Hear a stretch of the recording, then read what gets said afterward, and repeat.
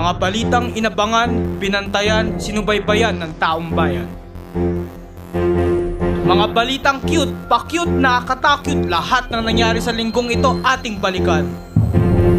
Balitang tinula, balitang kinanta, balitang nilista namin mula G's hanggang una. Balitang ihahatid namin sa inyo na medyo iba ang timpla, re re re remixed kumbaga.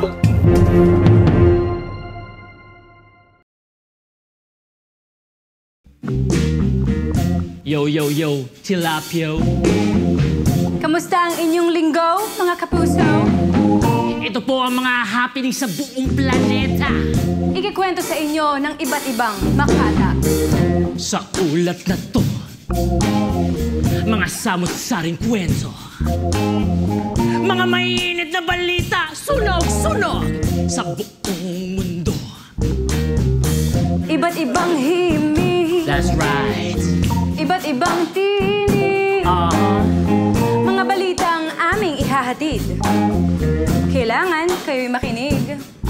kaya heto na, pakinggan na natin. Ako si Abby. Ako si Waki sa Remix Report.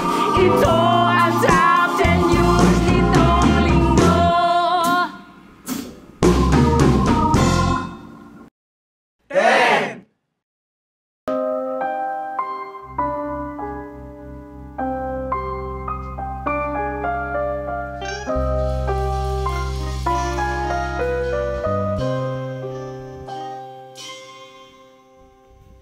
Una sa listahan ay ang pagdaan ng undas. Ang pag-alala sa mga mahal natin sa buhay na lumipas. Balikan natin ang mga nangyayari ngayong linggo. Kayo, kamusta ang inyong mga nicho?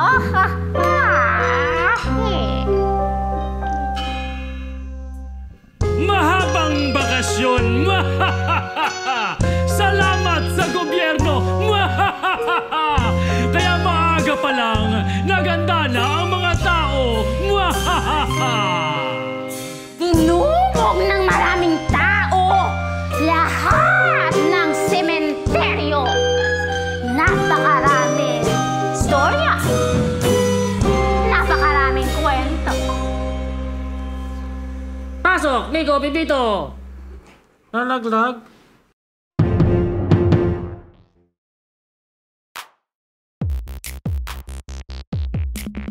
Ang mga lupa sa sementeryo ay napisa pagkat libo-libong tao ang dumagsa. Ang pamilya'y naghanda, bata matanda, pulis ay nakakalat na bantay sa madla.